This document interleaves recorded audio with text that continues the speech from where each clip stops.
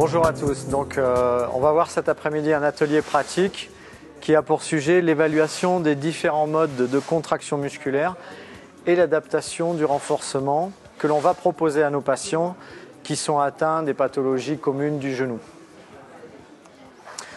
Il faut revoir les cinq modes de contraction musculaire qu'on peut effectuer dans une séance de rééducation. Ça va être un peu fastidieux, mais il faut quand même se les remettre en tête parce que quand vous demandez à quelqu'un de forcer, il faut savoir si vous lui demandez du statique, du concentrique, de l'excentrique, de l'isocinétisme, de la pliométrie.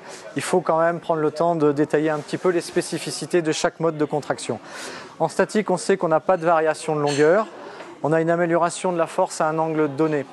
C'est intéressant, mais c'est aussi un facteur limitant. Parce que si vous êtes fort à 45 degrés d'extension euh, et que vous n'êtes pas programmé pour être fort à 70 degrés, ça peut vous manquer dans les gestes de la vie courante. On sait que le mode statique recrute préférentiellement les fibres rapides, mais qu'il n'y a pas de composante, qu'il n'y a pas de travail de composante élastique. Donc ça entraîne une certaine raideur quand on fait uniquement des contractions statiques. Maintenant, si on regarde le mode concentrique, on a une diminution de la longueur du muscle, une amélioration de la coordination intramusculaire, ça c'est très intéressant. Mais il y a une limitation rapide de la force, c'est-à-dire qu'on ne va pas pouvoir développer un maximum de force en utilisant le mode concentrique. Ce sera plutôt le mode excentrique qui va nous donner le maximum de force produite par une contraction musculaire. Ensuite, il faut se rappeler, ça on a plutôt tous tendance à l'oublier, que c'est un muscle de démarrage et qu'il euh, est plus important au démarrage qu'à l'entretien du mouvement. Quand on passe au mode excentrique, on se rappelle que le muscle résiste à l'allongement, que sa force dégagée à ce moment-là est supérieure à toutes les autres, que ça sollicite la partie élastique plus la partie contractile du muscle. Par contre, en inconvénient, on a des risques de micro-lésions et d'apparition de courbatures et qu'enfin, il est difficile de faire ce travail excentrique à vitesse rapide parce qu'il y a souvent une désadaptation neuromotrice du patient.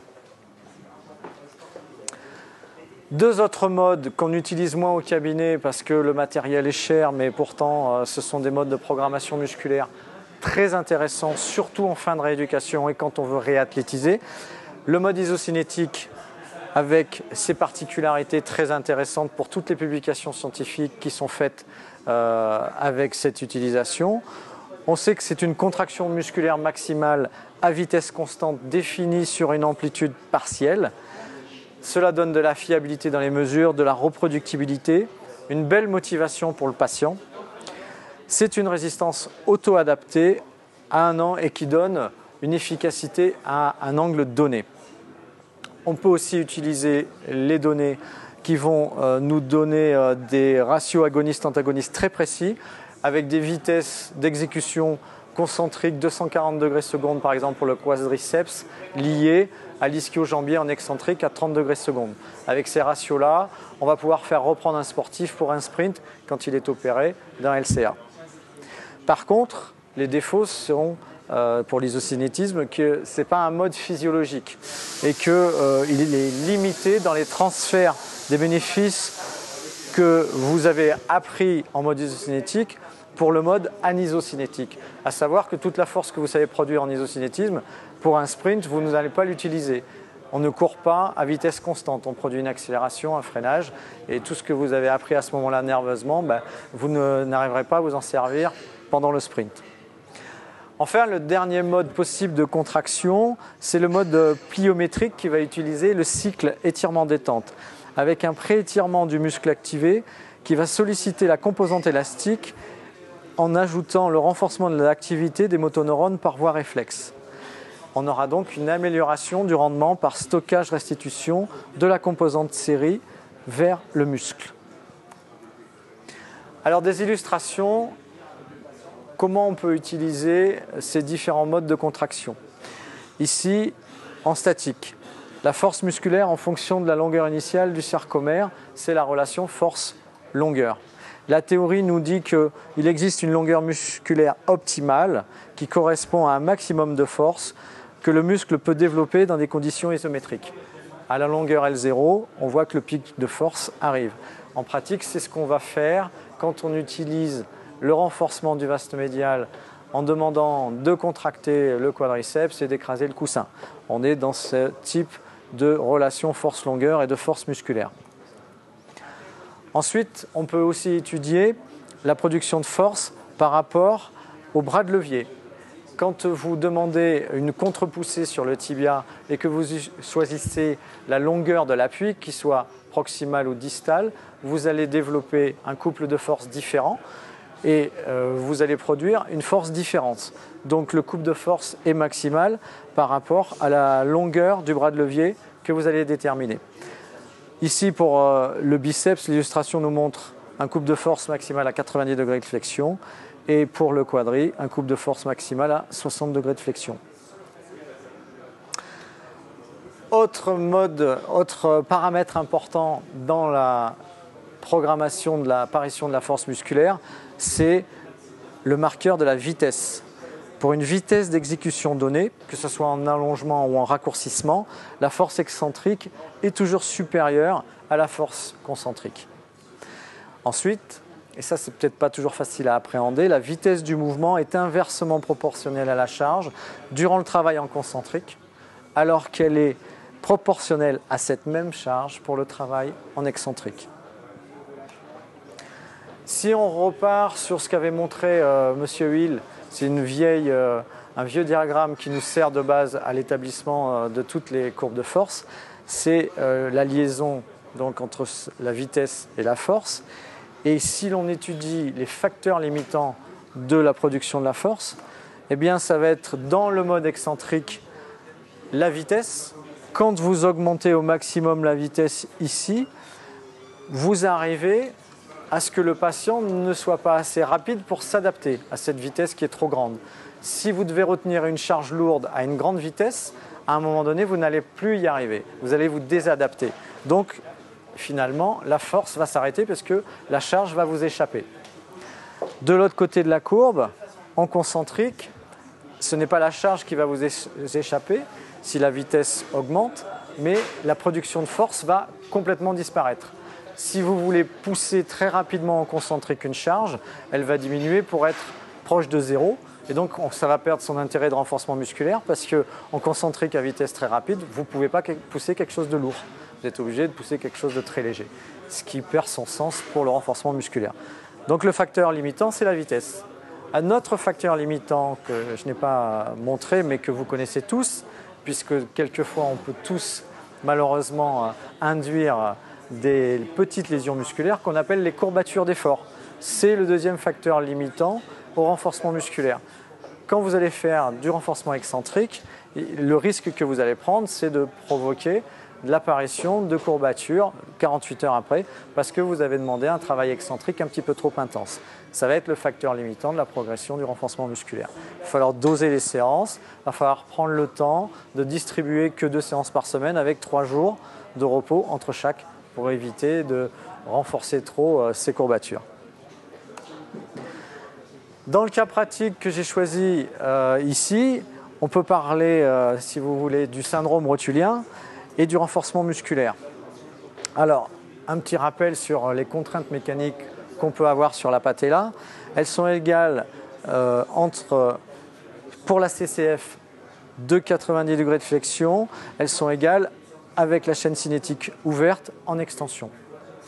Ensuite, on a vu aussi que le travail statique intermittent du quadriceps entraînait un peu trop de contraintes sur le pôle inférieur de la rotule, à savoir que quand vous êtes en chaîne ouverte et que vous demandez une contraction statique, si jamais vous mettez un petit peu de charge au bout du pied ou de la cheville, vous allez entraîner un maximum de contraintes mécaniques sur la rotule et vous risquez d'enflammer un petit peu la patella, chose que vous ne voulez absolument pas provoquer. Enfin, une autre loi nous montre que, la loi de Bernoulli, que les forces de compression diminuent avec la vitesse. C'est pour ça que quand vous avez un arc douloureux, quand euh, vous êtes en chaîne cinétique fermée ou en chaîne cinétique ouverte, si vous diminuez la charge, vous avez intérêt à travailler à vitesse rapide parce que les forces de compression vont diminuer et la douleur va diminuer. On peut se servir d'un modèle d'étude qui a été fait et qui est validé par les docteurs De Brooker et Goujon sur l'île. Ils avaient pris 81 patients atteints de syndrome rotulien, 58 58 pardon, ont été améliorés avec un score fonctionnel global qui était passé de 12 à 15,3. Et une corrélation statistique, c'est ça qui est important, entre l'amélioration musculaire et l'amélioration clinique, fonctionnelle. Donc on est obligé de renforcer nos patients, quoi qu'il arrive.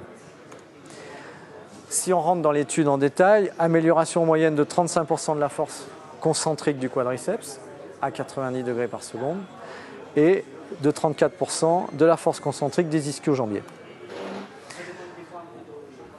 En pratique, comment ils avaient fait? En isocinétisme, 30 séances, 3 fois par semaine, avec sur le quadriceps et les ischios en concentrique et en excentrique, en sous-maximal. Donc là, je n'avais pas le détail de l'étude. Euh, je pense qu'ils ont démarré à 20 Nm et euh, ils sont allés ensuite vers 70 Nm très progressivement et en demandant 3 séries de 10 contractions avec 8 euh, secondes de tenue pendant les contractions. Alors la question est, et je pense qu'il faut euh, peut-être un peu la poser euh, maintenant, parce qu'on a des nouvelles machines qui vont arriver, euh, cette fameuse 1RM, la résistance maximale, qui va servir à établir un programme de renforcement musculaire. C'est une contraction volontaire maximale réalisée une seule fois. C'est-à-dire qu'on ne peut pas enchaîner une deuxième fois. C'est trop lourd, c'est trop dur, le patient ne va pas arriver à enchaîner deux d'affilée. Donc on va retenir une seule répétition maximale. Alors, Qu'est-ce qu'il faut faire? Il faut se servir comme base du côté sain ou du côté lésé? Je pense que là, il peut y avoir un débat. On pourrait en discuter euh, sur d'autres euh, réunions. Euh, si vous prenez un côté lésé, son maximum, il y a quand même une, crainte de faire revenir la douleur. Il est peu probable que le patient fournisse son maximum. Par contre, si vous prenez le côté sain, il va être désinhibé, il va pouvoir envoyer le maximum de recrutement neuromoteur. Donc moi, je pense qu'il faut prendre le côté sain comme référence pour la 1RM. Et ensuite basculer sur le côté lésé et préparer tous les protocoles de renforcement musculaire en prenant le côté sain comme référence. Ensuite, le deuxième argument, c'est que finalement, même le côté sain a perdu de la force. Quand vous êtes immobilisé sur trois mois sur un syndrome rotulien, vous ne courez plus pendant trois mois. Donc l'autre côté qui n'a rien a perdu sa force explosive aussi. Et là, ils ont montré que, Croisier a montré qu'il y avait 10% de perte de force même sur le côté sain. Donc on a intérêt à renforcer le côté sain dans le même temps de la séance. Parce qu'on va élever le niveau général des deux quadriceps et qu'on va protéger les deux genoux. Et finalement, c'est ce qu'on veut.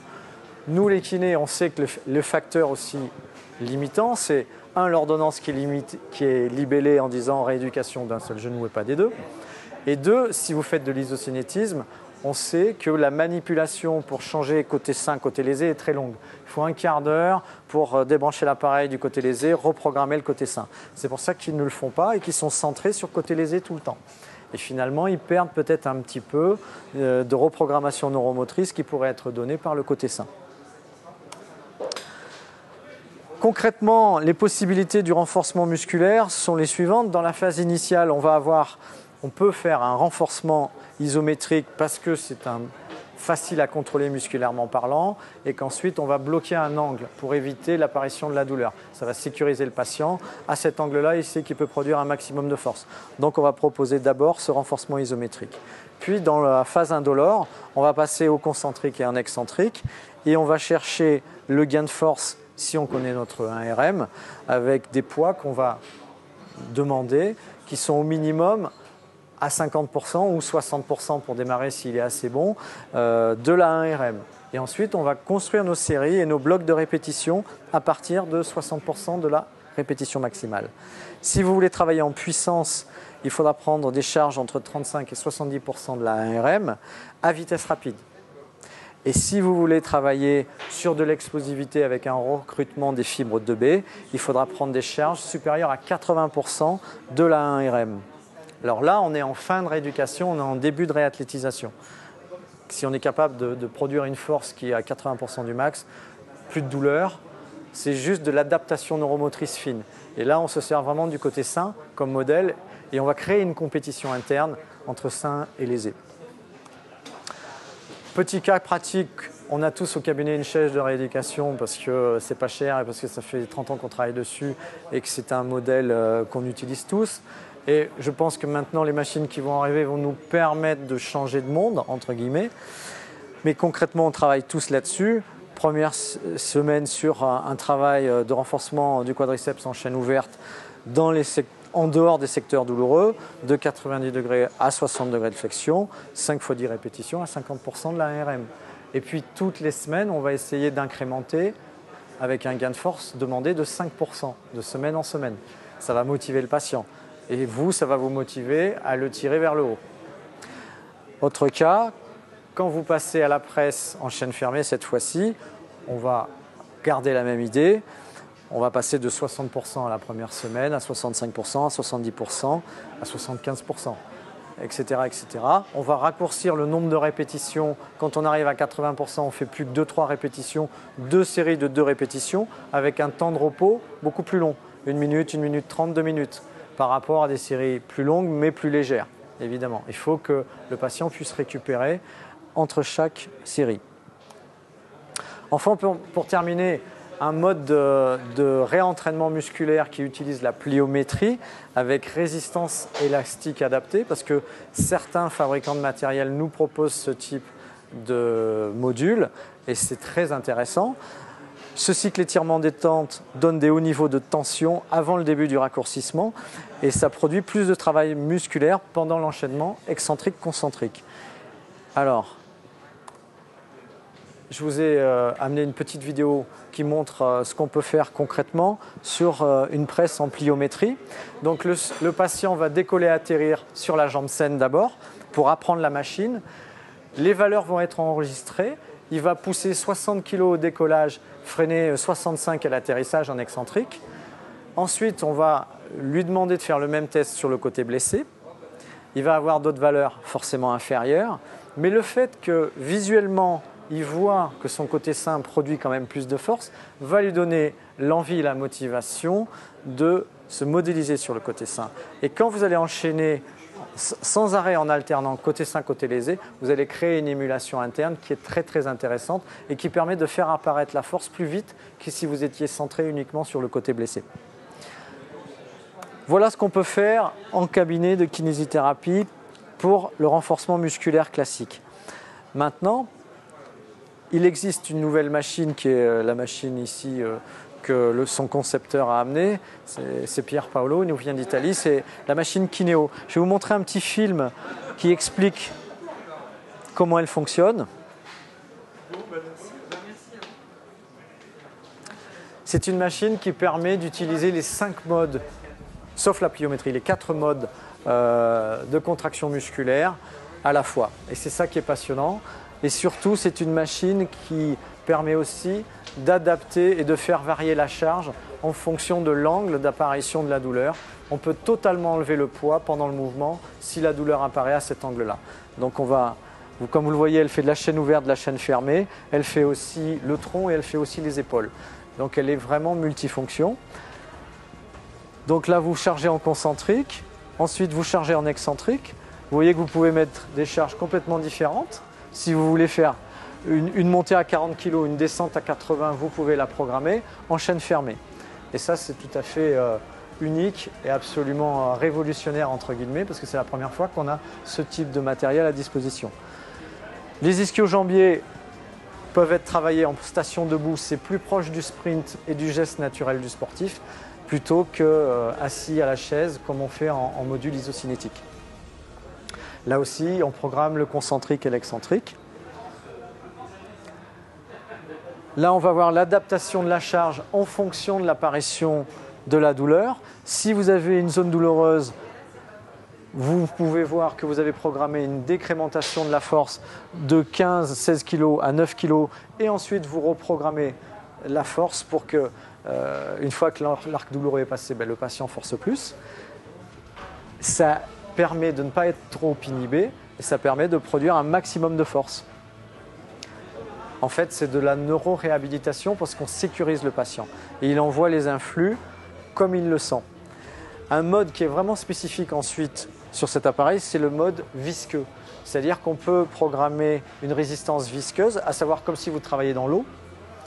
Et ce renforcement musculaire est très auto-adapté par rapport, là aussi, à la douleur. Quand vous poussez une charge, mais que vous poussez euh, dans de la viscosité, j'allais dire, Si vous avez mal, vous vous arrêtez, vous allez à vitesse lente, vous vous arrêtez, puis vous reprenez tout doucement, vous passez l'angle douloureux et vous pouvez accélérer à nouveau. C'est la viscosité de l'appareil qui s'auto-adapte à vous par rapport à la vitesse de déplacement que vous mettez dans la charge. Voilà, après le petit film, on va passer à l'atelier pratique et Pierre Paolo va nous faire la démonstration de l'utilisation concrète de l'appareil. A little. Okay, I go very, very slowly. My name is Pier Paolo. I am the president of the company Lobus that produces many products as electrotherapy, electrostimulator. And now we are launching this new machine. The name is Kineo. Uh, Kineo is uh, is an electric machine. There is no weight inside. And uh, with electronic and the motor, we control all the parameters of the movement. Load, velocity, acceleration, inertia, many parameters. You can work in this case in a leg extension, you can work in a squat, you can work in pulley. There is an accessory that we have not here for working in the, in the in the biceps femoral. And, uh, and so it's a multi-method, as you have seen in the video. Okay, come close to me, I will show you here.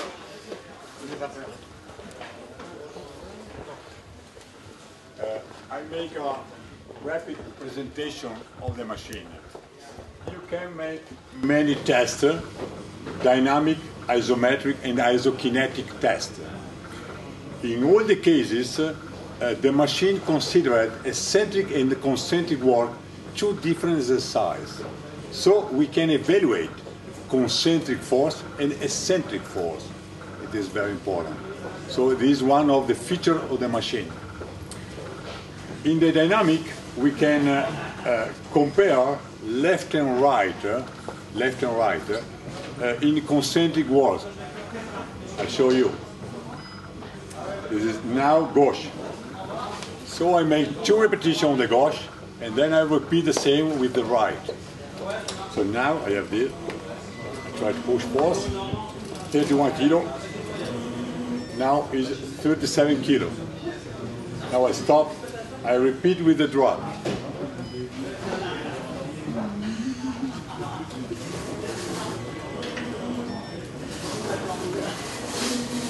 At the end, the machine tell you the difference between left and right in the first repetition and the second repetition.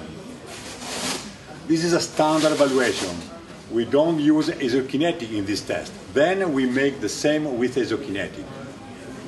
So, what is important, except this test, we can make a test in eccentric. I, I, I changed the Yes, presentation. yes, just yes, to- Okay. Uh, the, the, the, the, test is uh, image. uh, I put 80 kilo in the one. So, Dans le miel. Le miel. du miel. so I will make this test. I will try to resist at 80 kilo with one leg. I'm not worried. No, no problem. Because if I lose, if she's too strong, the honey, the miel, help me. I can live, I can you understand. So now I go with uh, the beginning. Now the machine take me like 80 kilo. I try to resist. I try to resist. But if I don't resist, uh, it's no problem. You understand? Because the machine help me. The machine understand uh, if they use the, the honey or not. Now I repeat with the draught.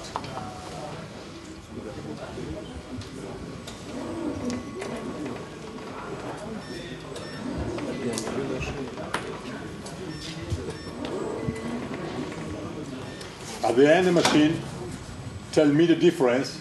Of course, I, I make that test. The difference, left and right. uh, the first one was the difference in eccentric work. Understand? That's another feature of the machine. Okay, going on. Now we pass to isometric test. I want to compare isometric test in two different angles. For example, I choose uh, 60 degrees and I, put, I choose 40 degrees. I have the possibility to have five different position in the same test. Uh, okay. Now I make with uh, gauche, left. So I go. The machine stop me at 60 grades. I go, stop me. Now I try to make pause. Okay. Now the, the machine propose me 40 grades. I repeat. Ah, wait, arrête.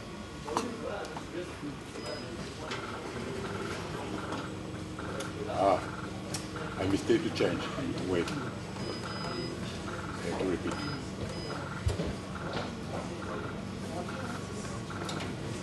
Stop me grade.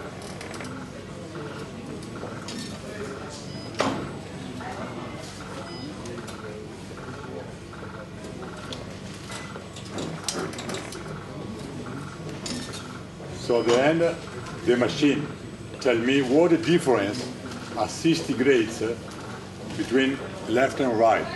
So I decide with the angle that I have a problems, I have pain, uh, or just before, and I want to control what the difference between left and right at a specific angle, and I can change uh, these parameters, the angle. Then I can make uh, evaluation in isokinetic. I can choose a one speed, 110 grades per second. Now gauche.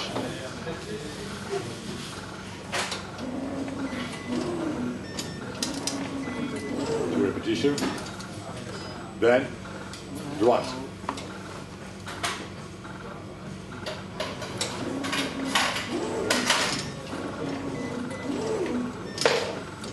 The machine showed me at 110 grades, he take the first, he said me the only 4% in isokinetics.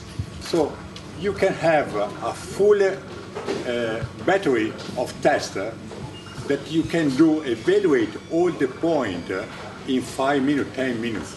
You understand? Because you have isometric, you have dynamic, you have isokinetics, and so you could have a really very complete photography of the condition of the patents, as, uh, as uh, Francois told in advance. So, then we can speak about uh, uh, in the viscosus. Uh, I say that uh, Francois explained what is uh, uh, viscosus. Viscosus is similar, is the same when you move in a fluid, as in the water, with the difference that the water could be water, but could be oil, could be honey, to change the viscosity. Why it is important? Because when I put a minimum load, 5 kilo, and I put Visco 1, so in the water, I can work. You see that uh, if I move very slowly, the machine give me 8 kilo, not 5, 8 kilo. If I try faster, give me 10 kilo. Very faster, give me 12 kilo. Uh, if I change the viscosity, the load change. Viscosity 2. At this stage, I 10 kilo. If I try very fast, 16 kilo. Faster, another kilo. What is important? The important is that the load applied uh, is not imposed. Depend on you, depend on the patient. If he has a problem, in all the time, C'est ça qui est vraiment spécifique sur la machine, c'est que la charge va s'auto-adapter au patient et à l'apparition de la douleur. Look, now I try one where I simulate to have a pain. Look, now here I have a pain. In the, in the sixth repetition, I go in analysis. In the sixth repetition, ah, right here, a fluid, Elle sent que vous poussez moins, donc tout de suite elle s'auto-adapte the machine et elle vous propose moins de force dans le même temps. Elle est très humaine, très fine. C'est une réactivité incroyable. So the concept is that uh, this method allow you to manage uh, the speed and the force. And this the machine is intelligent because understand immediately because you, you reduce the, the vitesse, uh, you reduce the speed, uh, it changes the load. You understand in real time. so you can manage it too, and so the patient could work without uh, uh, without pain. pain. and without to be too afraid of the pain. So don't think of the pain. Your body is intelligent and you can manage without pain. You will discover that your patient, when work without pain, at maximum uh, force that he can feel, automatically he renews, he take out the, the, the risk of the pain, and automatically he feel better and increase the load. You discover that after 10 days, uh, you are not working with, uh, with uh, 60 kilo, but you are working with 80, ki- 18 kilo, 20 kilo, because he has not the pain, it's the inhibition. This is the most important thing. So in this case, uh, the viscosity is fantastic for the stabilization of the articles, for the knee, and allow you to work and uh, to work uh, always uh, to be sure there is a maximum load without pain. When you work without pain, there are the stabilization, the activation of the stabilization muscle, because you know that you have, you have many muscles involved in one movement. Some, some muscles are very well identified, but there are many things uh, that happen in a movement.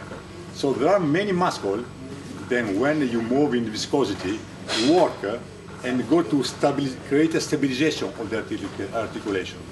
That's very, very important. We have uh, some uh, specific cases, above all uh, in, uh, in Argentina. Here we have the Dr. Uh, Argemi. There is a physiology of the Boca Junior. There's two years they studying the viscosity working with his athletes, uh, professional athletes. The, the that has pathology in the pathologia condite uh, uh, rotulis, you understand, so patella, the patella.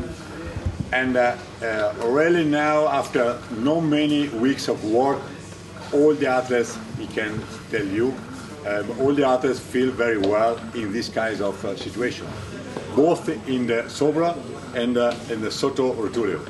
You understand, both, both conditions. What is the most important feature uh, apart uh, the viscosity? Is the variable load. What is variable load? Here you have the load. Here you have the kilo. So imagine that now I want to start at uh, 10 kilo, but when I am here, when I am in this position, I have pain. I want to reduce the load. So here I can reduce the load. Then here I want to increase. So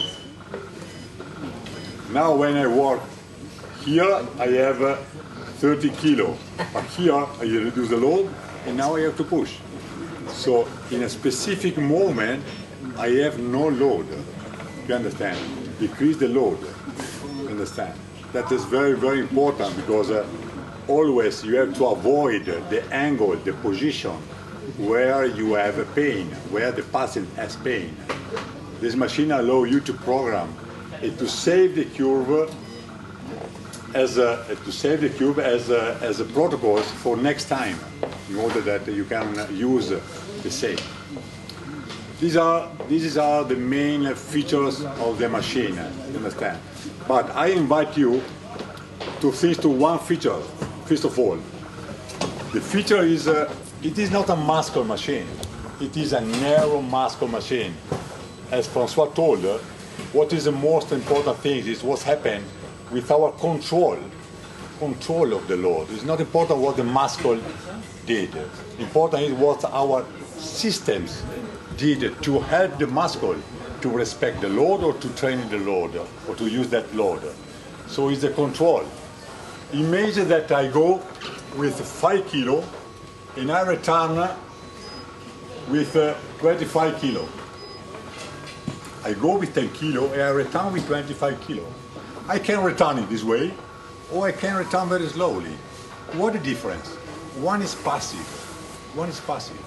My brain say, oh, leave, don't worry, leave. The other, my brain, my system, my control, my, my, my uh, nervous systems uh, always is communicating with the muscle involved uh, in order to control the speed. I have to follow. For example, I can define uh, that I have to work at uh, 0.4 meter per second. So here, I concentrate.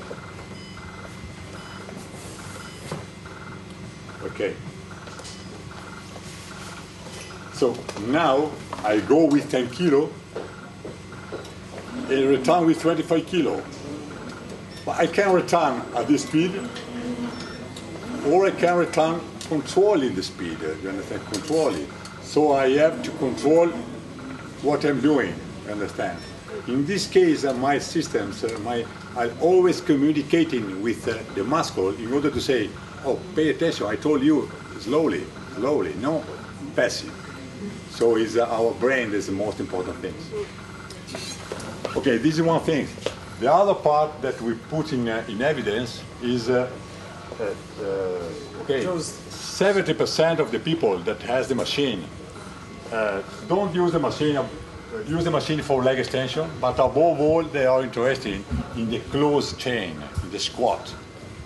Also for pathology to the knee, for LCA, sometimes during the treatment, you have to begin to work uh, when the movement is fixed, it's a closed chain. You understand? It's very important. This is one. The second is the pulley. All is the size of the pulley. You understand? That, that's right. So for example, here, come here, we see here. We can fix the pulley.